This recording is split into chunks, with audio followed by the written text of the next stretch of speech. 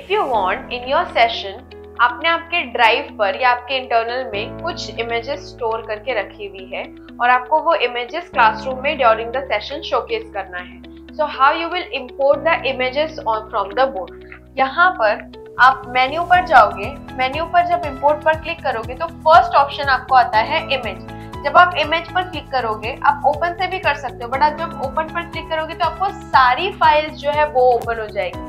Where यहाँ पर आपको डेटा सेग्रीगेटेड है। So you have to click on import ताकि आपके सामने सिर्फ़ इमेज फाइल्स ही ओपन हो। So you will be specified on to the images अब जैसे ही आप क्लिक करते हो अगेन आपको दो ऑप्शन मिलता है स्टोरेज एंड क्लाउड ड्राइव आप चाहो तो आपकी क्लाउड ड्राइव पर इमेज स्टोर करके इमेज सेव करके वहाँ से ओपन कर सकते हो या इंटरनल स्टोरेज स्टोरेज पर क्लिक करने के बाद में डाउनलोड पर क्लिक किया, जहाँ पर मेरी इमेजेस सेव है। एग्ज़ाम्पल मुझे कुछ ये वाली इमेज इम्पोर्ट करनी है। I just click on okay so बस मेरी इमेज यहाँ पर इम्पोर्ट हो गई है एट अ क्लिक मैं जूम इन करके इमेज के ऊपर भी नेविगेट कर सकती हूँ। क्या करना है? पेन जस्ट पेन लेने के बाद में यहाँ से किसी भी पार्ट को मैं एक्सप्लेन कर सकती हूँ, कितना इंचेस है इसके।